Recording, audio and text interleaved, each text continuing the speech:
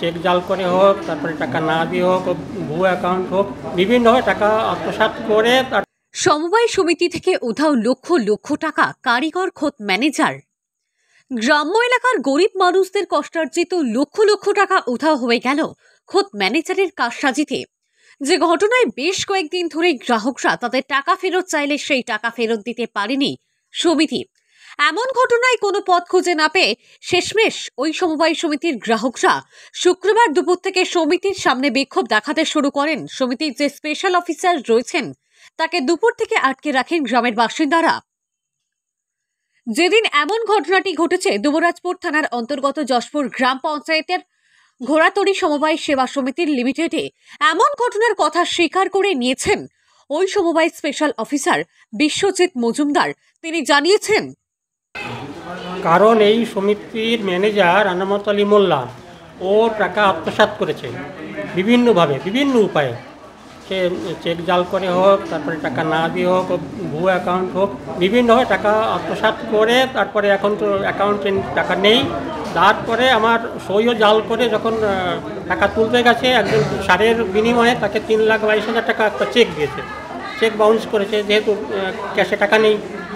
তারপরে ওই আনমত আলী মোল্লা, আমি যখন বললাম, তাহলে তুমি আমাকে পুরো হিসেব দাও, তুমি এইরকম জালিয়াতি করেছ, আমাকে পুরো হিসেব দাও। এই এই বলে ও আমাকে সাত দিন সময় নিল, বলল, ঠিক আছে, আমি সাত দিনের মধ্যে পুরো হিসেব দিয়ে দিচ্ছি কার কাছে কী দিয়েছি, কার কাছে কী পাবো হ্যাঁ আর যদি আমি নিয়ে থাকি কোনো টাকা, আত্মসাৎ করে থাকি, আমি বুঝে দেবো। এই এই জন্য ওকে সাত সাত দিন সময় দেওয়া হয়েছিল। কে? ন তারিখ থেকে।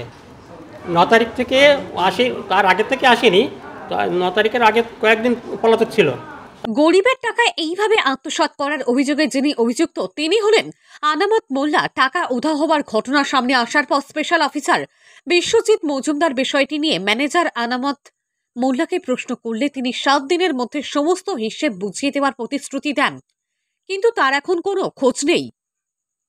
এদিকে এই সমবায় সেবা সমিতির প্রায় আঠেরোশো গ্রাহকের মধ্যে অনেকেই রয়েছেন যারা দরকারে নিজেদের টাকা ফেরত না পেয়ে এদিন সন্ধ্যে ছটা পর্যন্ত স্পেশাল অফিসারকে ঘেরাও করে রাখা হয়। পরবর্তীতে দুবরাজপুর থানার পুলিশ এবং সিউড়ি থেকে আসা আরও একজন স্পেশাল অফিসারের প্রতিশ্রুতির পরিপ্রেক্ষিতে বিশ্বজিৎ মজুমদার ঘেরাও মুক্ত হন। জানা যাচ্ছে এই সমবায় সমিতিতে লক্ষ লক্ষ টাকার এমন জালিয়াতি হয়েছে। কখনো সই জাল করে কখনো আবার চেক জাল করে। এমনকি স্পেশাল অফিসারের সই জাল করতেও ছাড়েননি আনামত মোল্লা। আমাদের প্রাপ্য টাকা রাখা আছে আমাদের সেই টাকাটা নেওয়ার জন্যে আমরা এখানে দাবি করতে এসেছি আমাদের পয়সাটা কবে দেওয়া হবে? আমি মোটামুটি দেড় লাখের উপর টাকা পাবো। কতদিন থেকে ঘুরছেন? মোটামুটি দু মাস থেকে ঘুরছি। কি বলছে এরা? হ্যাঁ এরা বলছে চাচা হ্যাঁ তোমাকে ফোন করে ডাকবো দেবো দিচ্ছি এই করছে। আমার টাকাটা এখন কি দরকারে লাগবে? আমার মেয়ের বিয়ে আছে স্যার কার্তিক মাসে আট তারিখে। হ্যাঁ তো এখন ওখানে একটা পয়সা পয়সা নেবে না একটা খরচা আছে জানেন মেয়ের বিয়ে। হ্যাঁ তো আমার কিছু কিছু টাকা রেখে রেখে লোকে রেখেছো আমার কাছে ওই পয়সা সব মরে গেছে স্যার। তো আমি এখন কী করব নিজে অসহায়। দেখুন, আমি প্রথমে কথা এটাই বলছি যে আমাদের একটা নর্মস আছে, ঠিক আছে? সরকারিভাবে আমি আপনাকে এইভাবে তো বলতে পারি না, আমাদের একটা অনুমতি নিয়ে সেটা বলতে হয়। আমরা যাতে, যে কাজ করা দরকার সরকারিভাবে, সরকারি নিয়মকানুনভাবে সেটা আমরা করব। কারণ আমরা এখানে কাজ করে গেছি, সৎভাবে আমরা কাজ করছি এবং গ্রাহক যারা আছে তাদের কাছে সৎভাবে নিয়ম মাফিক যেভাবে করা দরকার সেটা আমরা করব, সেটা আমরা অভিযোগ রয়েছে যে